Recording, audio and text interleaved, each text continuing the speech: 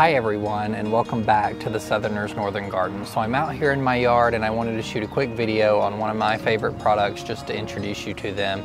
I'm not affiliated with this company but I do love these products and I've had them for three years. So we're in the middle of a thunderstorm, we just got some rain. I came outside to shoot this video real quick and it's about to start raining again so I'm going to wrap this up rather quickly. But the product I want to introduce you to is called Earthbox. So Earthbox creates a variety of containers uh, that you can use on your patio or um, your deck or any other space where you need a container garden at. If you're looking to do what my friend Jess says and turn your waiting room into a classroom, this is a great opportunity to get some veggies grown if you live in an apartment complex and you can't invest in putting raised beds up.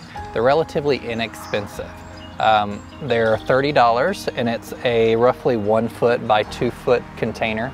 Um, you can pick them up online. I'll put a link below. It's just earthbox.com. So this is the original Earthbox. They also have a kids version, which is I believe slightly smaller, and then they have a square type of container as well. So a couple years ago when I was looking to expand my garden and expand my garden space without actually getting into the yard very much, I did a lot of research around what containers would be safe for growing food and if there was anything out there that was self-watering and would help cut down on the amount of watering I have to do and Earthbox checked all those boxes. So you have the container and there's a uh, plastic food safe uh, barrier that raises the soil slightly and the bottom of the container holds water like any other self-watering container you've probably seen. So there's a small pipe back here in the very back. Uh, I'm not sure if you can see that, it's kind of hiding behind this pepper, but they also offer a self-watering kit so the intention of this kit is to hook it to your hose and keep your hose running all the time. And as the plants drink water, the hose, by using this pressure valve, will release new water into the container so it would always be full and have water available at all times. I use the self-watering feature a little differently. The self-watering feature is an additional cost. It does not come with the Earthbox itself, but you can refill the containers yourself um, without having to purchase the self-watering setup. When too much water has entered the container, it overflows on the sides, so you don't have to worry about your plants drowning in water, which is very nice. So a few years ago, after I did all my research, my dad came up here and helped me build these um, raised beds, basically, and it's just a uh, ledge that these Earthboxes sit on, and I have them stacked end to end all the way down this way, and then down my vegetable garden and that way. As far as how I have this set up on drip, I have this connected to the rest of my vegetable garden as I mentioned. I have one half inch hose that runs under these boxes, the wood boxes, and runs all the way down to the end and I have the end capped.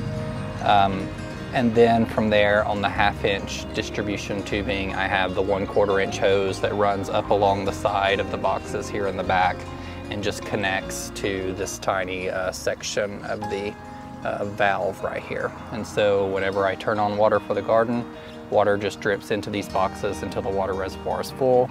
And then um, the plants soak up water from there. Actually, after I get everything planted in these at the spring, I don't touch them again. There's no, there's no watering needed, um, which is excellent. And they basically just take care of themselves. If you need to fertilize your plants halfway through the season, that's a great option, but I typically do not. My peppers really thrive in this because peppers, as you may have heard, like to hold hands. And so as I mentioned, I can fit four in here. And most of the peppers that I grow are bell peppers uh, and a few spicy options, but they are, they do absolutely fabulous. And I get some very large pepper harvests out of just these containers alone. So the self-watering setup comes with this. This goes in the tube where you would normally refill the uh, self-watering container with a water hose. Uh, and instead you connect a one quarter inch drip tube um, to this end. It will come with the tube. And then this end down here goes all the way in and sits at the level of the self-watering reservoir. So when the water level drops in the reservoir, it's a pressure regulated uh, device right here and it tells it to put more water into this. I will put a short video on the side of how this works and show you uh, basically water drips out of this tiny hole right here um, when more water is needed in the container. So like I said, the intent on this setup was to keep the water running and connected all the time. If you're not comfortable doing that, I have mine set up to my regular sprinkler system and it gets watered when um, all of my other beds get watered. So I'll turn on my sprinkler system to run for 30 minutes. These will run continuously until the self-watering reservoir is completely full, and then they will stop. And then my bed will continue watering for the duration of that time. They have been excellent for me for growing anything. I have mostly herbs down this side, so I have oregano, thyme, calendula, chives, sage. Uh, I even have, as you've seen in my previous videos, uh, bushel and berry variety raspberries and blackberries. I've lettuces and my peppers have exclusively been grown in these for the past three years and they absolutely love them. I'm able to fit four pepper plants in each container. This one only has three because it was just extra. Typically my, plant, my peppers are on this side of the vegetable garden. And, but this is the Proven Winners um, hot and heavy variety. And let me tell you, this pepper, they named it very well because it has produced more peppers uh, than any other plant in my garden this soon and they're actually ready. I need to come out here and pick them. I'm not a big fan of hot peppers, but we can try them in some salsa after I get some tomatoes going. So these containers stay out year round. I don't put them up. The only thing I'll remove at the end of the season is this because this could potentially freeze and bust and I because these aren't necessarily cheap um, I don't want to have to replace these every year. So I just unhook the quarter inch drip and bring these inside or store them in the garage where they're dry. And then in the spring, I'll bring them out, slide them back into the uh, pipe of the self-watering container, and then connect the drip and we're off to the races. In the spring, before I plant, I typically add some compost or a good organic potting mix on top of this to top it up, and as well as add some nice organic fertilizer just to keep nutrients in the soil. Um, I haven't done any type of crop rotation. My perennials, uh, my perennial herbs that essentially stay in these boxes have been planted three years ago and have survived winter very well. Could be because it's on the side of the house, but most of these herbs are also hardy in my zone.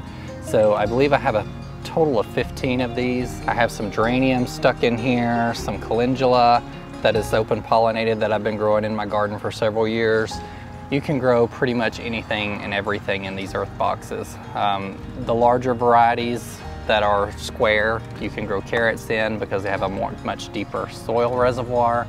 Um, I would highly recommend these for peppers, herbs, and uh, lettuces and that type thing, the original Earthbox. They have various other accessories for these, including a cover if you wanted to actually just cover the earth box, almost like a weed barrier, and then cut holes just to put your plants in there so you don't have any weeds. As you can see, I've got some weeds in these right here, but they come out really easily because the container stays sufficiently moist for the plants and the weeds are just easy to pull out just like that. So I hope you guys enjoyed this video. I just wanted to get out here and do a quick video to show you guys something that I have found very beneficial, that's food safe, that uh, allows you to grow lots of food in a small location if you can't get your hands in the ground and that has been reliable for me for over three years. So stay tuned guys, I will be doing a garden tour this weekend, weather permitting. We are supposed to get quite a lot of rain but I'm very excited because parts of the garden is absolutely bursting in bloom and there are still some things to come